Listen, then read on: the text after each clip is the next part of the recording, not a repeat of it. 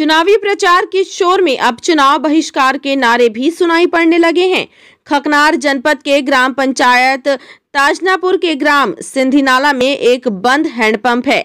आज तक नल जल योजना का लाभ नहीं मिला है। पानी की भारी किल्लत के कारण पीने का पानी लेने महिलाएँ करीब तीन किलोमीटर दूर से पानी भरकर मटका सिर पर उठाकर लाती हैं। ऐसे में इस उपचुनाव का बहिष्कार करने की चेतावनी दी गई है। यहाँ करीब 400 वोटर हैं।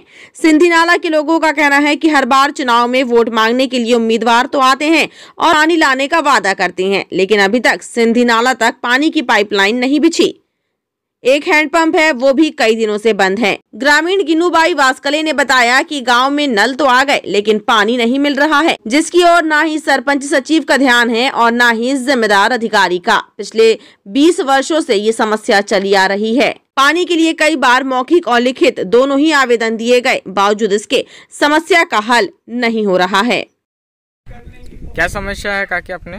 इस बार ऐसा हम बोल रहे हैं कि जो भी चुनाव हर बार जो भी चुनाव आ रही है वो जो चुनाव वाले आते हैं सिर्फ़ वोट के लिए आते हैं फिर कोई यहाँ पे कोई हमारी क्या समस्या है वो कोई आज तक हमको पूछने ही नहीं आ रहे कोई सरपंच नहीं आ रहे कोई मंत्री नहीं आ रहे संतरी नहीं आ रहे यहाँ पे कोई सुनने के लिए तैयारी नहीं हो रहा है। यहाँ पे हमारा कहना है कि सर ये चुनाव के बाद तो ऐसा बोलना है हमको कि हमारे सिंधी नाला में जब तक पानी की व्यवस्था नहीं जब तक वोट भी नहीं मिलेंगी ये सब हमारा सब समिति उनका कहना है सिंधी नाले वाले बाया उनकी सब। अभी तीस तारीख को चुनाव आने वाला है उसमें क्या करोगे आप लोग? समस्या का समाधान नहीं होंगे तो क्या करोगे आप?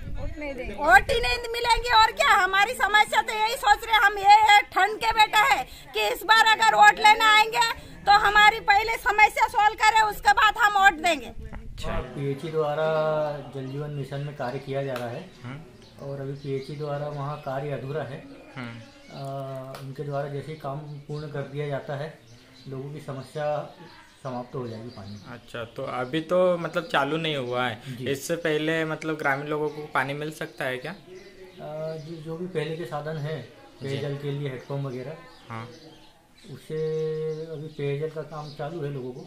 हाँ पर वहाँ पर तीन चार हेडपम्प है अभी बंद पड़े हुए हैं। वहाँ कोई सूचना नहीं देता जानकारी नहीं देता कोई अधिकारी सुध नहीं लेता वो उसका। जी जी हाँ। जी उसको भेजे हमने हेडपम्प सही करवाने वाले अच्छा। मतलब मैकेनिक को। अच्छा अच्छा।